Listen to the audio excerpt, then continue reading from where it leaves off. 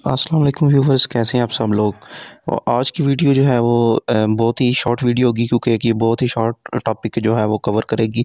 तो एक क्वेश्चन मेरे से बहुत ज़्यादा पूछा जाता है कि ये ओडी ऑप्शन क्या होता है और ओडी ऑप्शन को किस तरह यूज़ किया जा सकता है। तो आज की वीडियो में हम ओडी ऑप्शन को डिस्कस करेंगे, लेकिन उससे पहले हमेशा की तरह आपसे रिक्वेस्ट है कि मेरे चैनल को सब्सक्राइब करके साथ मौजूद बेल का आइकन लाजमी प्रेस करें, ताकि आने वाली तमाम इन्फॉर्मेटिव वीडियोज़ जो हैं वो नोटिफिकेशन की सूरत में आपके मोबाइल स्क्रीन तक पहुँचती रहें।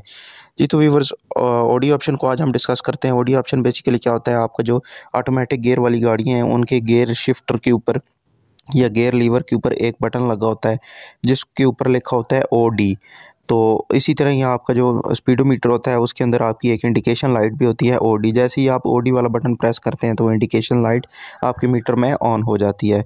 तो मैं भी आपको डिटेल में बताऊँगा कि ये ओडी ऑप्शन क्या होता है और इसका क्या यूज़ होता है।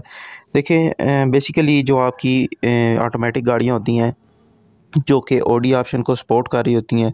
वो अगर फोर स्पीड हों तो उनके पहले तीन गियर जो हैं वो मैनुअली जो हैं वो शिफ्ट हो रहे होते हैं, मैकेनिकली शिफ्ट हो रहे होते हैं।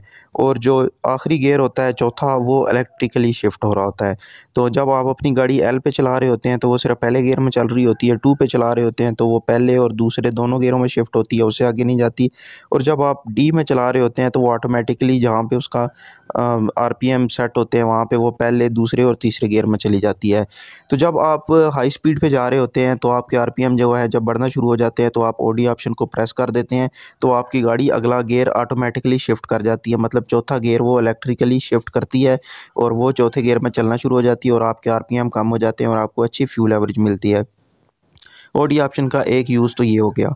ऑडी ऑप्शन का दूसरा यूज़ ये होता है कि जब आप अपनी गाड़ी को कंटिन्यूसली ऑडी वाले बटन पे ही चला रहे होते हैं तो आप चौथे गियर में जा रहे हैं, आपकी स्पीड काफ़ी ज़्यादा है और आपके आरपीएम लो हैं। और जैसे ही आपने किसी गाड़ी को ओवरटेक करना है और आपको अपनी गाड़ी में थोड़ी सी पावर की ज़रूरत होती है, आपको हाई आरपीएम की ज़रूरत होती है तो आप ओडी वाला बटन जो है वो उसको रिलीज़ कर देते हैं मतलब दोबारा से प्रेस करते हैं ताकि वो बंद हो जाए और बटन बाहर को रिलीज़ हो जाए तो आपकी गाड़ी के आर पी एम यकदम बढ़ जाते हैं, वो एक गेयर उसका डाउन हो जाता है। जैसे आप मैनुअल गाड़ियों में जब ओवरटेक करने लगे होते हैं तो आप टॉप गेयर से उससे पिछले गेयर में आ जाते हैं मतलब पाँचवें से चौथे में और चौथे से तीसरे में आ जाते हैं। तो इसी तरह जब आप ऑटो गाड़ी को, में ओवरटेक करने की कोशिश करते हैं तो अपनी गाड़ी में पावर पैदा करने के लिए आप ऑडियो ऑप्शन जो है, उसको रिलीज़ कर देते हैं और आपकी गाड़ी पिक पकड़ लेती है। और वो इस तरह पिक पकड़ती है कि आप इजीली अगली गाड़ी को ओवरटेक कर सकते हैं। तो ये थी आज की वीडियो कैसी लगी आज की वीडियो ये कमेंट सेक्शन में ज़रूर बताना है। अभी तक मेरा चैनल सब्सक्राइब नहीं किया तो चैनल को ज़रूर सब्सक्राइब करें और साथ मौजूद बेल का आइकन लाजमी प्रेस करें। अगली वीडियो तक इजाज़त दें। अल्लाह